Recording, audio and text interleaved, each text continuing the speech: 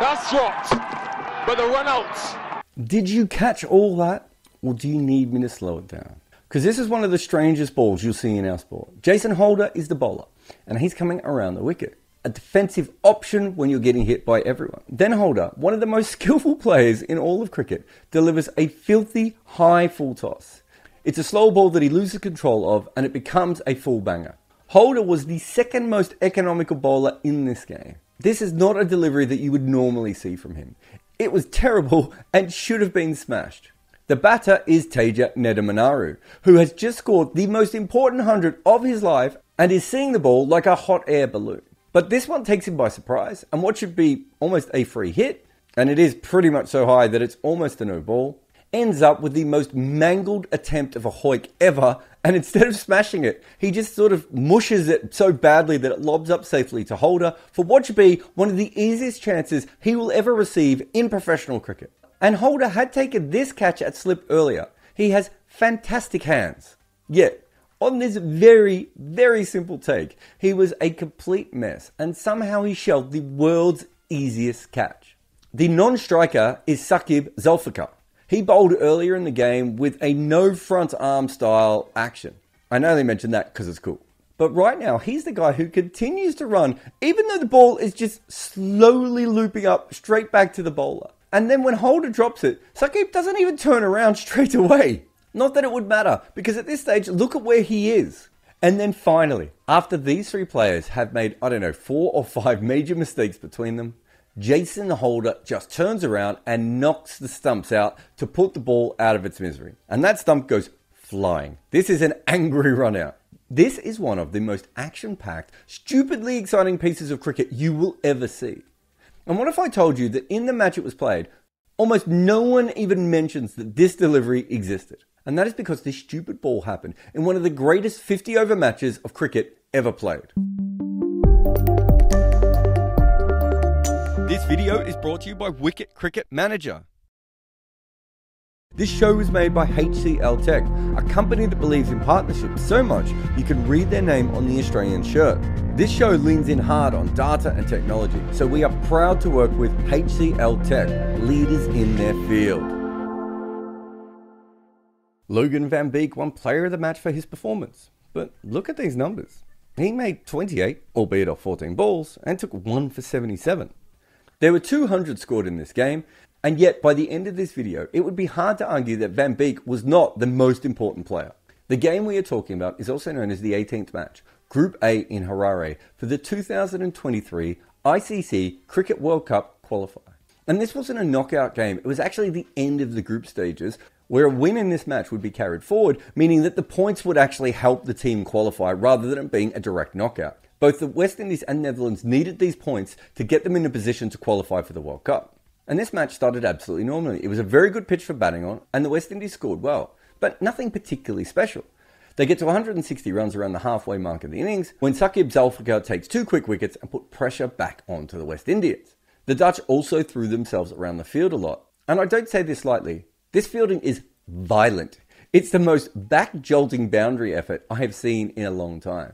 The Netherlands were risking long term spinal injuries to try and save a couple of runs. And also, this is one hell of a high kick. But at this point of the game, what really happened was Nicholas Pooran came in. And it's interesting because looking back, he had a fantastic 2019 World Cup, especially for someone who really just hadn't played a lot of ODI cricket before that time. And this time he's batting with everything he has just to get his team into the tournament. And to be fair, he gave it a fair go. He was 7 off 17 balls at one stage, and he ended up with 163. His quick feet ruined the Dutch spinners, and every mistake they made seemed to leave Zimbabwe it was hit so far. And it wasn't just any knock either. This was the third quickest 100 in the history of one days for the West Indies. When he started, the Netherlands were still in the game, and by the end, this looked beyond them. The West Indies added 118 in the last 10 overs to turn what was a chaseable total into something completely different. The West Indies made 374. Netherlands had never scored over 350 in the second innings, or even over 300. Their highest chase was 291, and they only had nine scores of over 250 in the second innings. Also, weirdly, this was the most important match these teams had ever played. They'd only gone up against each other once in the 2011 World Cup, but that game wasn't particularly important, except for Kemar Roach's six wicket haul. And maybe the most interesting link between these two was in 1996 when the legend Nolan Clarke played for the Netherlands. This was a player who made his first class debut for Barbados in 1969. So playing for the Netherlands in 1996 meant that at the age of 47 and 257 days, he would be the oldest player to ever be in a World Cup.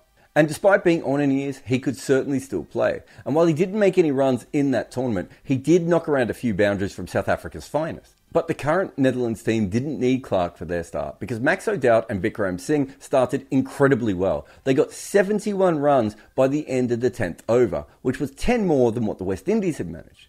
They had a similar partnership after that, but they lost a couple more wickets there as well, which meant that at the 30 over mark, they'd lost four wickets, but also needed 196 runs with their top order gone. So it's like a T20 game where you need 10 runs and over, but you're starting with only six wickets in hand. That is a hell of a chase. And also, remember that the Dutch didn't really have a lot of support at the game. This wasn't a home match or a World Cup game, it's a qualifier in Zimbabwe. They were essentially playing in a vacuum. And stop me if you've heard this before, but Captain Scott Edwards saved them. Playing his scoops and sweeps, as he likes to do, perhaps the more interesting innings was by Teja Nidamanuru, who made 100. And not any ton, but the quickest in Netherlands history. But it was also a lot more than that. The Dutch hadn't made 100 in 50 over cricket since 2014. Well, that's not quite true, because Nidamanuru had actually made one a few weeks earlier. But the point is, it had been a long time without any hundreds, and suddenly he scored two. And the thing about him is, outside of those 200s, he really hasn't made any runs in the 50 over format at all. Even with them, he's still only averaging 26 in total. He passed 50 four times in his first 25 matches. And so for a middle order guy to ensure that two of them are hundreds is an incredible record. But also, that was it, because he has not made a run since. And for a while, it looked like he was going to do this on his own. But this partnership was so huge that it drags the Dutch back into the game and they score at nearly 10 RPO over 14 overs. So now the pressure is back on the West Indies, which culminates in the kind of catch you drop when you're under this kind of pressure. If his hands were any harder, he would have punched this ball into South Africa. But the Dutch do lose wickets, but in completely bizarre ways. Scott Edwards moving all over the crease only to pop the ball back up to the bowler. Not to mention our friend the drop and run out from the start of the game, and then this scoop that pops up over the keeper's head enough for short third to come and pick it up. That was the second wicket in that over, and it was Nieder And now the Dutch needed 48 runs from 24 balls with only three wickets in hand. At the crease was Logan van Beek and Aryan Dutt. The off spinner was only 20 at that stage, and he only had 77 professional runs. Recently, he made 23 not out against South Africa, so there is clearly some batting talent there. But Van Beek was the senior player. He's a first class 100, but he averages in the low 20s. And in list A, he really hadn't done much with the bat ever.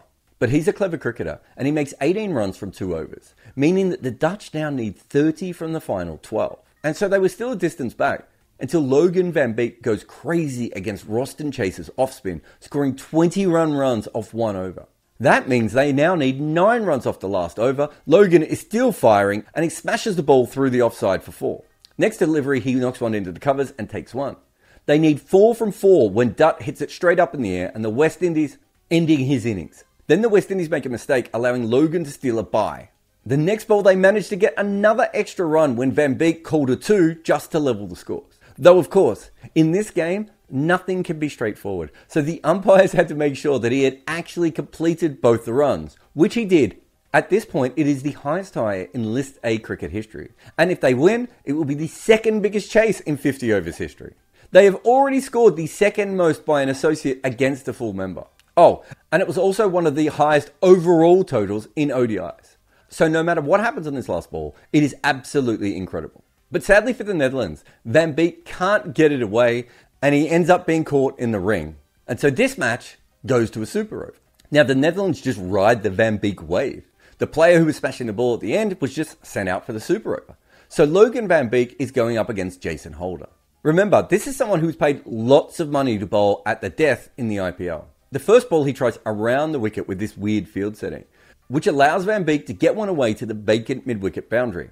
Next ball, Holder tries a wide Yorker, but he ends up with a full toss that somehow Van Beek still hits to the leg side for a six. Holder tries a surprise short ball, and Van Beek muscles it away to the still vacant mid wicket boundary. Holder switches to over the wicket and goes for a conventional Yorker, and he misses it enough to allow Van Beek to loft the half volley over the leg side for six again. Holder now tries a slower ball that drops on a length and is bashed over the leg side for another six. And then Holder will finish up with a slower ball bouncer that Van Beek still gets away, even though the West Indies now have two men on the leg side to stop it. Holder tried every single trick in his death bowling bag. Six different deliveries around the wicket Yorker, a wide Yorker, a surprise short ball, conventional Yorker, slower ball, and slower bouncer. And the over went for 30 runs. Scott Edwards was the other player in the super over, and all he had to do was walk out to the middle and then walk back. Van Beek went 4 6 4 6 6 4 against Jason Holder. And as if he hadn't done enough, the Netherlands then sent him out to bowl. And remember, he'd got from 77 from his 10 overs, which I suppose in this game was about par. But even so, he had now bowled his full quota. He had batted twice, and he was now asked to go out and defend 30, which I suppose is not the hardest thing in the world, but still. And then Johnson Charles hits him for six. The chase was on. But then there are two singles. And at this point, Logan Van Beek has already won this game. Oh, but that isn't good enough for him. So he dismisses Johnson Charles, and then he follows up by dismissing Romario Shepherd. So when I showed you the player of the match details before, they were incomplete. Logan Van Beek took 1 for 77 and made 28 in the game.